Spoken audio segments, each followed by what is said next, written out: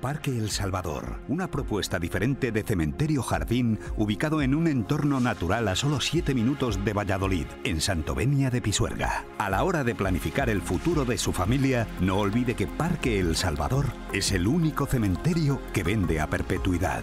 Grupo El Salvador, servicio funerario integral, haciendo sencillo lo más difícil.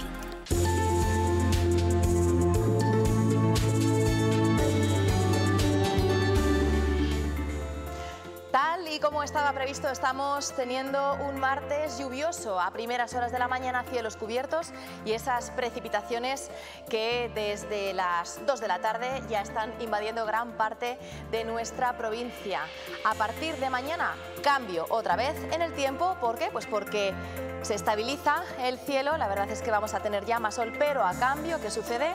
Pues que llega el frío, una masa de aire frío que va a dejar los termómetros bastante más bajos de lo que los tenemos hoy. ¿Qué tal están? Buenas tardes y bienvenidos al tiempo de la 8 Valladolid. Lo mejor que podemos hacer es verlo ya en nuestro mapa de previsión, ese cambio de cara a la jornada de mañana miércoles, porque como decimos, vamos a ver mucho más el sol que hoy, una jornada bastante gris, la de hoy martes, pero mañana miércoles será una jornada bastante más alegre, veremos mucho más el sol y como decíamos, a cambio esas temperaturas a la baja, descenso notable tanto de las máximas como de las mínimas, se lo avanzábamos ya ayer, de hecho no vamos a pasar de los 10 grados en ningún punto de la provincia, se van a quedar por debajo incluso en municipios de Tierra de Campos con 8-9 grados como estamos viendo en Zaratán, esos 10 de Renedo de Esgueva, de Boecillo. Y atención a las temperaturas mínimas porque también se desploman. 3 grados positivos tan solo en algunos puntos, 4 tendrá la capital mañana de mínima, 10 de máxima, al este por ejemplo no van a pasar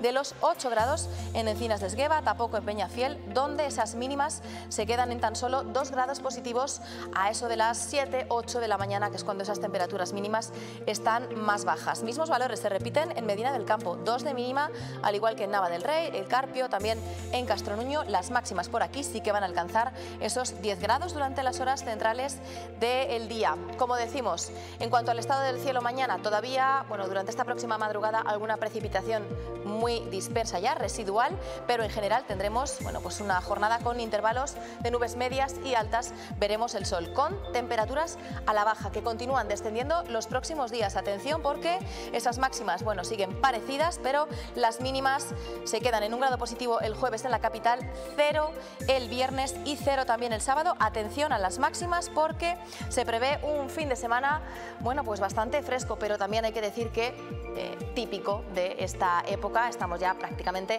a mediados de diciembre y esas temperaturas de 8 de máxima y 0 de mínima son las normales para esta época, así que por supuesto, bienvenidas. Nos despedimos, como siempre, deseándoles que pasen un feliz resto de jornada y gracias por acompañarnos.